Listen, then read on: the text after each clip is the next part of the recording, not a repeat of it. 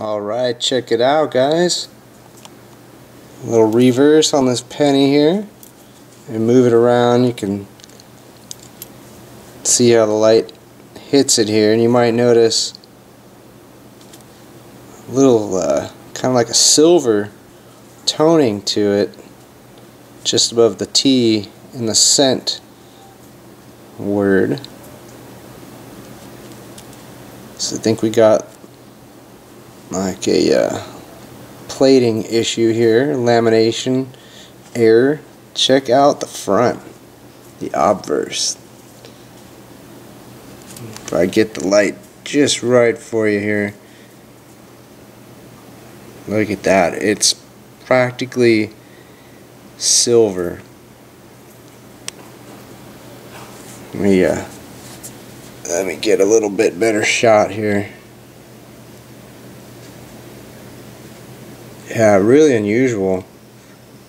I haven't seen one like like this with so much missing.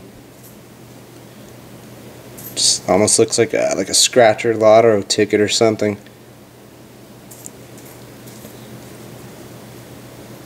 It's really nice. You can see uh, it's almost like bubbling. Uh, like the plating just uh, had a real difficult time there.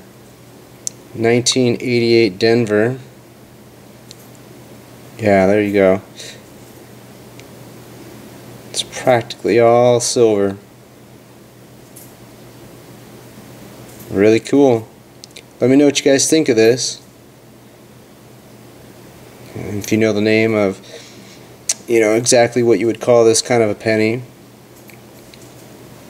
Right now I'm just kind of calling a, you know calling it a lamination error plating error some sort but uh, definitely does not look like your average penny.